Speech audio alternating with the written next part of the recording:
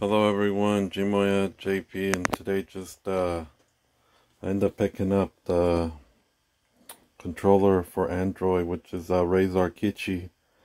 Uh, I had to get one of these for um, Final Fantasy VII First Soldier. Uh, yeah, I, I there's a lot of stuff you got to do when you're in fighting people or shooting people online, of course. So I just this will be a lot easier, and then my big hands going on the screen and all, so I had to get a controller. So I already opened it just to see what's inside, so simple stuff. It's um yeah, so you take this out, it'll stretch. Actually, I'll, before I do, so this is um it has Xbox uh, buttons.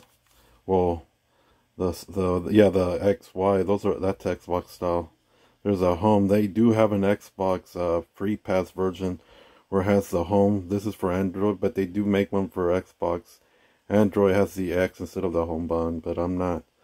I just want it for Android games, not for the pass, because they have like Xbox has like something, like a pass you can play like your Xbox games on your phone, so you can use this.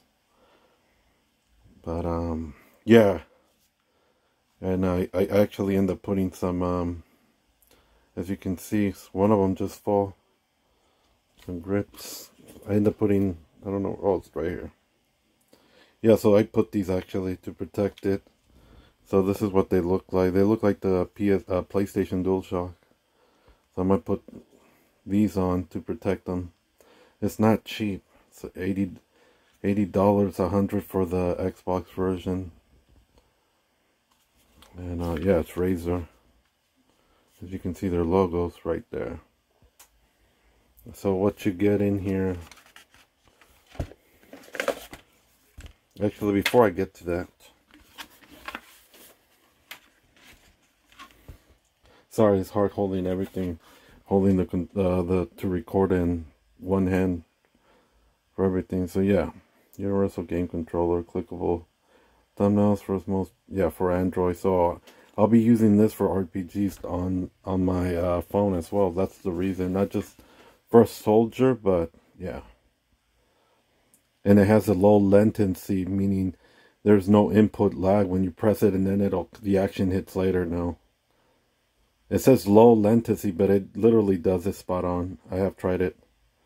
I just got this, and I had to give it a try, and yeah, it works amazing.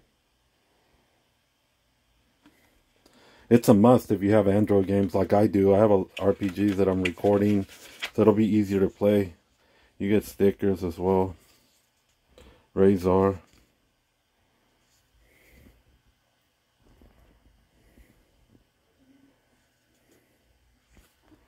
I don't even know why is it so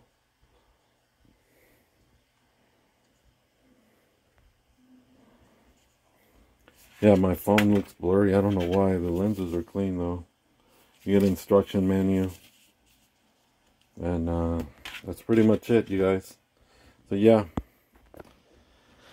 Um, yeah, I, I, do a lot of Android. Uh, I do a lot of mobile gaming, so this had to be a must for me.